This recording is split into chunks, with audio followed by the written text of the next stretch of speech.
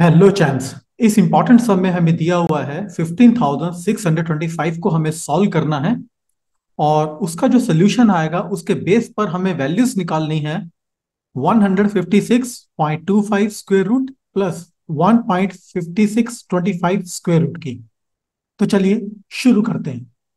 तो चैम्प सबसे पहले हम सॉल्व करते हैं 15,625 को। तो आपको पता है कि राइट हैंड साइड से आपको पेयर्स बनाने हैं सबसे पहले। तो हमने एक पेयर बना लिया, दूसरा पेयर बना लिया। तो लॉन्ग डिवीज़न हम करने जा रहे हैं। जिन स्टूडेंट्स को लॉन्ग डिवीज़न सीखना है, वो यहाँ पर आई बटन पर क्लिक करके ये लोगों के ऊपर है। जाकर लॉन्ग डिवीज़न सीख सकते हैं, फिर आके आप ये सम देख सकते हैं। तो चैम्स सबसे पहले हम वन को सॉल्व करेंगे। तो वन वन द टाइम जाएगा।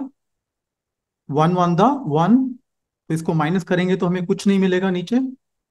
अब हम नेक्स्ट पेयर नीचे लेंगे। ये आएगा हमारे पास 56 और आपको पता है कि नेक्स्ट स्टेप में अब हम वन का डबल कर देंगे, यानी ये अब जाएगा टू और 56 को हम डिवाइड करेंगे टू से।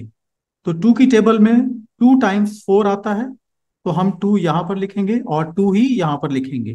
तो अब इस पूरी संख्या को हम टू से मल्टीप्लाई कर देंगे। तो आंसर आएगा 44 तो 56 से अब हम 44 को माइनस करेंगे तो हमारे पास बैलेंस आता है कितना? सिक्स uh, में से फोर गया टू और फाइव में से वन। तो आपको पता है नेक्स्ट स्टेप में अब हम 25 को नीचे लेंगे इस पेयर को पूरा नीचे ले लेंगे और इस संख्या को अब हम डबल कर देंगे। यानी नीचे हम हमें जो मिलेगा वो मिलेगा अब 24 अब इस पूरी संख्या को अब हम 24 से मल्टीप्लाई करेंगे। तो टू की टेबल में सिक्स टाइम्स ट्वेल्व आता है तो सिक्स हम ऊपर लगाएँगे और सिक्स ही नीचे लगाएँगे। चैम्स अगर 246 को हम सिक्स के साथ मल्टीप्लाई करेंगे तो आप देख रहे हैं कि संख्या हमारे पास 1225 से ज़्यादा आ रही है। तो अब हम क्या करेंगे? एक स्टेप नीचे करेंगे, यानी फाइव से। टू फाइव ज टेन तो फाइव हम यहाँ लिखेंगे और फाइव ही हम ऊपर लिखेंगे। अब फाइव से हम 245 को मल्टीप्लाई कर देंगे। फाइव फाइव ज ट्वेंटी फाइव टू बैलेंस चला गया फाइव फोर द ट्वेंटी और ट्वेंटी में टू ऐड हो गया तो ट्वेंटी टू फिर टू बैलेंस चला गया फाइव टू द टेन और टेन में टू फिर ऐड हो गया तो आया हमारे पास ट्वेल्व इसको माइनस करेंगे तो नीचे हमारे पास कुछ नहीं बचेगा।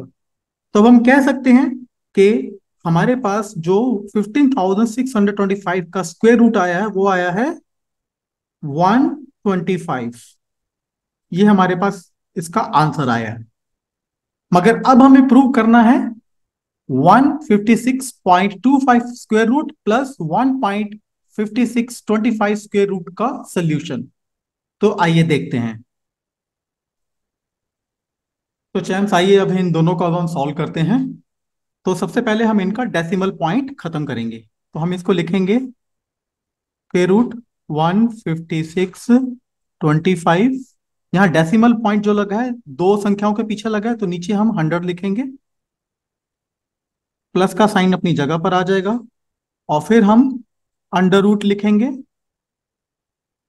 और इसमें आप देख रहे हैं, चार संख्याएँ हमारे पास डेसिमल पॉइंट के पास तो इसमें हमें चार ज़ीरो लगाने पड़ेंगे। तो fifteen thousand six hundred twenty five upon एक, दो, तीन, चार। तो आइए अब इनके हम स्क्वायर रूट्स निकाल लेते हैं। तो ऊपर का अगर स्क्वायर रूट निकालेंगे तो हमारे पास ऑलरेडी आंसर आया हुआ था 125 तो 125 हम इसको एज इट इज़ लिख दें और नीचे का स्क्वायर रूट निकालने के लिए हमें क्या करना है? दस हंड्रेड के फैक्टर्स करने हैं तो इसको टेन इंटू टेन लिख सकते हैं। बिल्कुल। अब हम ऐसे ही इधर भी करेंगे तो 125 हम ऊपर लिख देंगे और नीचे 10,000 के अगर फैक्टर्स करेंगे तो हमारे पास आ जाता है हंड्रेड इंटू हंड्रेड। ऐसे लिखा जा सकता है। वैसे आप लॉन्ग डिवीज़न से भी इनके निकाल सकते हैं। तो इसको नेक्स्ट स्टेप में आप अगर लिखें तो हम लिख सकते हैं वन और सॉरी ये गलत हो गया। One twenty five upon ten क्योंकि अगर इसका स्क्वायर करते हैं तो टेन से एक अंडर रूट कैंसिल हो जाता है, और इस हंड्रेड से भी एक स्क्वेयर रूट कैंसिल हो जाता है तो यहाँ पर भी हमारे पास यही आंसर आता है 125 ट्वेंटी फाइव अपॉन हंड्रेड अब हम डेसिमल पॉइंट लगा सकते हैं, हमारे पास एक ज़ीरो है तो एक प्लेस के बाद डेसिमल पॉइंट लगा देंगे तो हमारे पास क्या आएगा?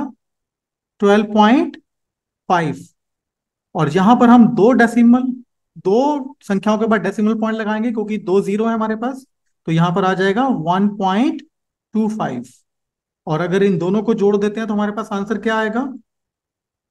आप एक रफ कैलकुलेशन कर सकते हैं। मैं सीधा आंसर लिख रहा हूँ यहाँ पर। यहाँ पर हमारे पास आ जाएगा थर्टीन पॉइंट सेवेंटी फाइव तो जो हमारा फाइनल आंसर होगा। तो चैम्स मैं आपको कुछ क्वेश्चंस दे रहा हूँ एक्सरसाइज के लिए। आप उन्हें सॉल्व कीजिए और आप इस क्वेश्चन को भी सॉल्व कर सकते हैं प्रैक्टिस के लिए। और मुझे कमेंट बॉक्स में ज़रूर मेंशन करें। मिलते हैं जल्दी ही। Till then bye and take care